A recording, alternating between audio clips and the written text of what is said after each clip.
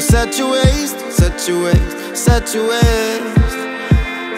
Looking on the city lights, flashing bright in my 세상의 모든 향기 리뷰하는 조향사 김혜연입니다. 오늘 제가 리뷰할 향수는 이세이 미야케의 로디세이 뿌르 옴므 우드 앤 우드 오 드 퍼퓸 인텐스입니다. 요즘 계속 남성 향수 리뷰가 이어지네요. 이세이 미야케의 로디세이 뿌르 옴므 우드 앤 우드 오 드 퍼퓸 인텐스는 2019년에 출시된 남성 향수입니다. 자연 본연의 상징인 나무 향기를 담았으며 남성의 대담하고 역동적인 에너지를 표현했다고 하네요.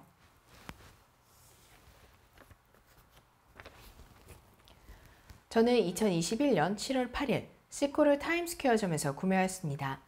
용량은 50ml이며 가격은 84,000원입니다. 저는 할인을 받아 52,920원에 구매하였습니다. 그럼 얼른 뜯어볼까요? ASMR 시작합니다.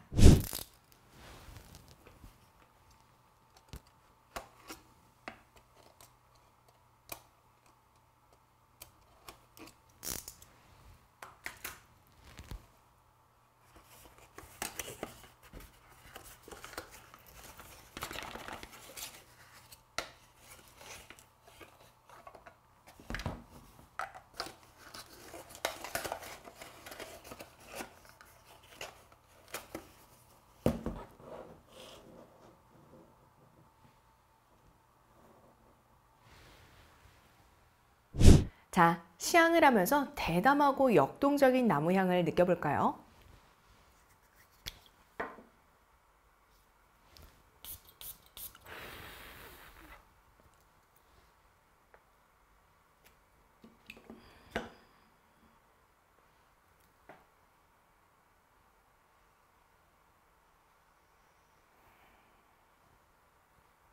싱그럽고 상쾌하면서도 spicy한 시작이네요.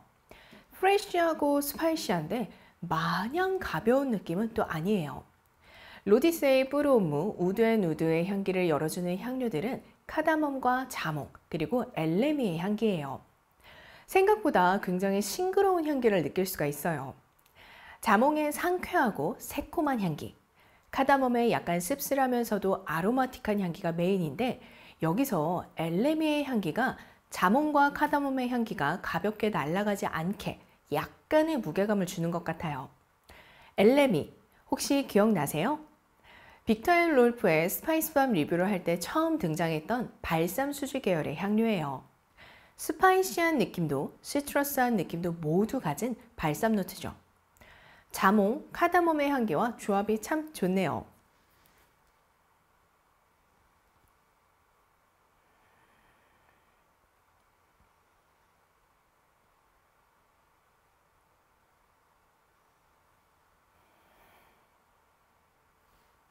싱그러운 spicy 향기가 날아간 다음에 느껴지는 향기는 생각도 못한 달콤함이에요.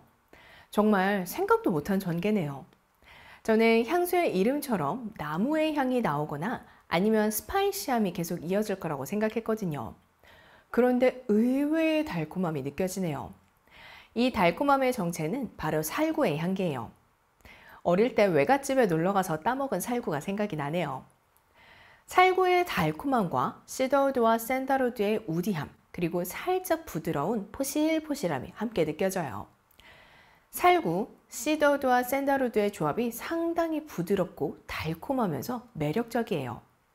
미들로트에 있는 향료들이 각각의 향취로 느껴지는 것은 아니지만 자세히 향을 느껴보면 충분히 존재감을 느낄 수 있을 것 같아요. 정말 살구의 달콤함이 저는 이 향수의 메인이 아닐까 싶기도 하네요. 잔향은 어떨지 미리 뿌려놓은 시향지로 맡아볼게요.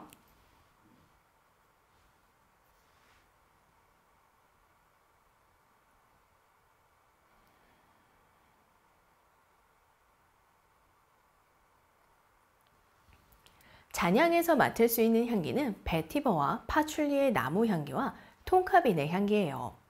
제가 미리 시향을 할 때 보니까 생각보다 미들로트의 달콤함이 꽤 오래 지속이 되더라고요. 살구의 달콤함이 잔잔하게 사라지면서 깊고 어둑한 느낌을 주는 파출리와 흙과 땅의 냄새를 가진 베티버의 향기, 그리고 아주 살짝 달콤함을 주면서 더 깊은 느낌을 만들어주는 통카빈의 향기를 느낄 수 있어요. 굉장히 깊은 나무의 느낌으로 마무리가 돼요. 그리고 한참, 정말 정말 한참 더 시간이 지난 후에는 맑고 깨끗한 느낌의 나무 향기로 마무리되더라고요. 잔향도 정말 매력적인 향이에요. 저는 향수의 이름이 우드의 누드여서 정말 시작부터 끝까지 나무의 모든 것을 보여주는 향수가 아닐까 생각했는데 저의 예상과는 정말 다른 향기를 보여주네요. 저는 이 향수의 메인은 살구 향기가 아닐까 싶을 정도로 살구의 달콤함이 매력적으로 느껴졌어요. 나무의 향기를 더 돋보이게 하기 위해 살구를 사용한 걸까 싶기도 하지만 저에게는 나무의 향보다는 살구의 향기가 더 크게 느껴지네요. 연상된 이미지는 거리에서 아주 오랜만에 우연하게 만난 짝사랑하던 오빠의 이미지예요. 오래전 풋풋한 학생일 때 청량하고 달콤한 느낌을 가졌던 모습이 시간이 흘러 어른이 된 후 세련된 남성미가 물씬 풍기는 남자로 변한 것 같거든요. 우연히 만난 반가운 인연이 꼭 이 향기의 느낌과 비슷한 것 같더라고요. 생각난 컬러는 당근색입니다. 남성 향수와는 잘 어울리지 않는 느낌일 수도 있지만 로지스의 뿌르오무 우드의 누드와는 참 잘 어울려요. 당근색이 살구의 달콤함과 나무의 묵직함도 모두 표현하는 것 같거든요. 이세이 미야케의 L'Eau d'Issey Pour Homme Wood and Wood Parfum Intense는 남성을 위한 향수로 출시되었습니다. 중성적으로 느껴질 수도 있지만 남성적인 느낌도 꽤 강한 편이에요. 잘 어울릴 것 같은 연령대는 30대 초반입니다. 연상되는 이미지에서 말씀드린 것처럼 왠지 어른이 돼서 원숙한 느낌을 가진 남성이 생각이 나거든요. 그래서 30대 초반의 남성이 생각이 났어요. 잘 어울릴 것 같은 아웃핏은 가벼운 캐주얼 자켓을 걸친 outfit이에요. 캐주얼 자켓이 가진 깔끔하고 여유로운 이미지가 이 향기와 참 잘 어울리는 것 같아요. 자켓의 formal함도 어느 정도 가지면서 부담스럽지 않은 느낌이잖아요. 음, 굉장히 멋있는 느낌인데요. 생각난 연예인은 배우 이상희 씨와 젠슨 에클스입니다. 저는 이 향기를 맡으면서 왠지 서글서글하고 시원한 이미지를 가진 사람이 이 향기와 참 잘 어울릴 것 같더라고요. 서글서글하고 시원한 이미지가 향에서 느껴지는 청량함, 스파이시함, 달콤함과 우디함의 향기와 참 잘 어울리는 느낌이거든요.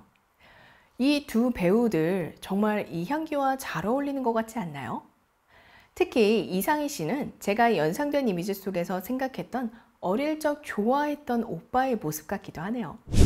생각난 음악은 이한철 박세별 씨가 함께 부른 바야흐로 사랑의 계절과 니오의 소색입니다.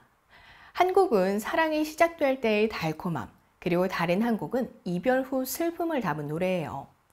상반되는 분위기의 노래지만 각각의 분위기가 이 향기와 참 잘 어울리더라고요. 이한철 박세별 씨의 노래는 middle note의 달달함에 그리고 Ne-Yo의 노래는 차분해지는 잔향에 참 잘 어울려요.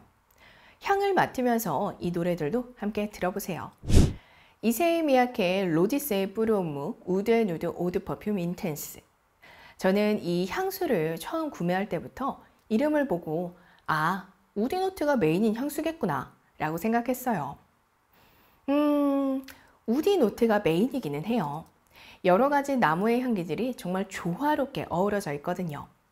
그런데 이 조화로운 나무의 향기를 더 완벽하게 만들어주는 건 생각도 못한 살구의 달콤함이었어요. 향의 첫 시작을 열어주었던 citrus와 spicy note의 향기는 어느 정도 예상이 가능했거든요. 남성 향수니까요. 그런데 middle note의 위풍당당 자리를 잡은 살구의 달콤함이 주는 의외성은 놀랍기도 하면서 전체 향을 더 세련되고 멋있게 만들어주더라고요. 남성 향수라고 해서 허브, spicy, woody만 있어야 한다는 법은 없잖아요. 남성적인 매력을 잘 보여주면서 동시에 기분 좋은 새로움을 느끼게 하는 향수였어요. 지금까지 이세이 미야케의 L'Eau d'Issey Pour Homme Wood and Wood Eau de Parfum Intense를 리뷰했습니다. 이 영상이 마음에 드셨다면 구독과 좋아요 눌러주세요. 댓글과 알림 설정도 잊지 마세요. 세상의 모든 향을 리뷰하는 그날까지 리뷰하는 조향사 김혜연이었습니다.